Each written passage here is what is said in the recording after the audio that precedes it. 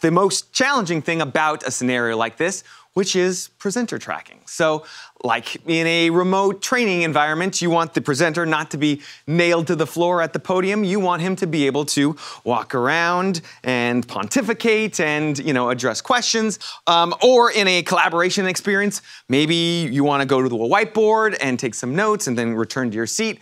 Uh, the moral of this story is you want to be able to capture all of those things uh, and, and, and, might be outside of the watchful eye of a stationary predetermined scenario. So that's why uh, a little, uh, a couple months ago, Q-SYS um, acquired a company called Seervision. Now, what Seervision is, in a nutshell, is an AI accelerator that leverages computer vision based scene analysis and full body analysis to automatically follow and frame a presenter. Now, I'm not talking about just regular old, uh, you know, facial tracking, and a lot of there are a lot of facial tracking solutions out there. I'm talking about a step above.